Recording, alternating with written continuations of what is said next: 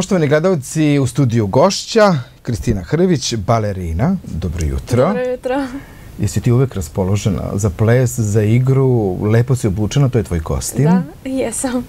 E, u njemu si nastupala, ili tako? Da, da, u njemu celu prošlu sezonu sam igrala. Jesi ga zamašila? E, ne, to imamo šnajderku koja nam šije, a ja osmislim kostim uz pomoć mog koreografa Nikoline Vranješ. E, I krunicu imaš, Da. jesi to sama osmislila Da, da, ili da. to je isto deo koreografije? To je sve deo koreografije, pošto sam bila Ice Queen.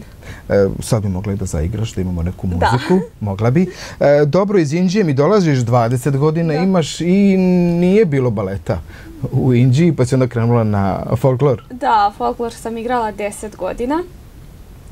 I onda sam saznala za plesni klub Quiz. I onda sam krenula. Plesni klub postoji 5 godina, a ja igram 4 godine. Dobro, šta se igra sve? E, Pa tu ima i hip hop, i jazz balet, modern ples, taj show dance. Svi mi učimo sve korake i na kraju kad treba koreografija, onda se igra kome šta najviše odgovara. Dobro, jedno su počela takmičenja. Da, Gde si sve bila? pa bila sam na državnom takmičenju kod nas u Novom Sadu, Pančevu, e, u Beču na evropskom takmičenju, na međunarodnom festivalu u Jagodini. Dobro, i kako si ovaj, do, do kog si mesta E, došla? U Beču sam bila prva, u Jagodini druga i na državnom takmičenju prva. Zanimljivo je to u Beču, da je bilo mnogo učesnika. Da, Ti si zauzela tri petice. da, ja sam bila 555 po redu. Koliko, je, broj. koliko je uopšte bilo učesnika? Pa ja ne znam tačno koliko je bilo učesnika, pošto je takmičenje trajalo od 8 ujutru do 10 uveče. E, to se čeka svoj red. Kada ti dođeš? Da, da, da. Ja imam tačno određeno u koliko sati igram, tako da ja trebam biti spremna jedno pola sata pre nastupa. I posle sve do dodela diploma sam slobodna. Di, diplomu si do- dobila u, dva, u pola dva ujutru? Da, u pola dva ujutru sam dobila diplomu, tako da je to veoma iscrpljujuće čekati. E, sada, sada preko leta e, nema e, ovaj, treninga, ali tako? Da, nema, sad dva mjeseca je pauza. Ali ti ne, pau- ti ne pauziraš, ti igraš, jel se spremaš za? Za prakse spremam u novembru. Jel, jel stalno igraš istu koreografiju ili se to menja? I, ne, e, to se menja. To je svake sezone druga koreografija. od koga to zavisi? Od tebe ili od tvog koreografa? Od mog koreografa. E, kako izgleda kada se takmičiš? Sad se ti lepo pripremiš?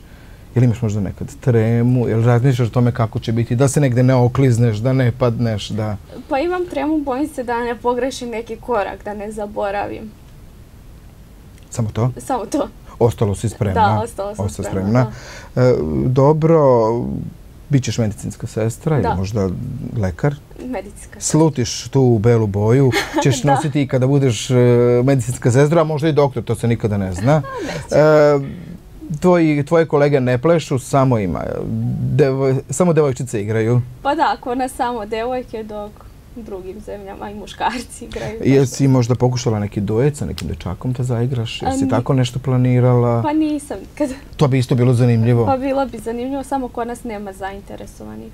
Na koju muziku si igraš? Šta si, e, jesi, kada si odlazila u Jagodinu, u Austriju, na koju si melodiju igrala? E, Pa to je miks pesama. Tu ima malo i klasične, i R&B, i pop. Koliko to traje? Mislim, koliko E, je, Pa traje minut i po koreografija. toliko, je- Da. toliko mora da da, traje? Da, toliko ima određeno koliko svaka koreografija mora da traje. I ti u tom periodu moraš najbolje, Da, da se pokažem što bolje. jer ti krunica stoji dok igraš, Stoji, stoji. nije nigde mrdnula, pala. Ne, ne, dobro. Dobro. Kristina, hvala lepo što si bila gošća Hvala jutarnjeg vama. programa. Želim ti puno uspeha. E, šta smo rekli, šta nam sledi? U... Sledi nam Prag u novembru. Lep je Prag. Da. Da. osvojiš jednu lepu nagradu. Hvala. Pa da mi dođeš sa medaljom kao što si sada došla. Hoću. Hvala na lepo. pozivu.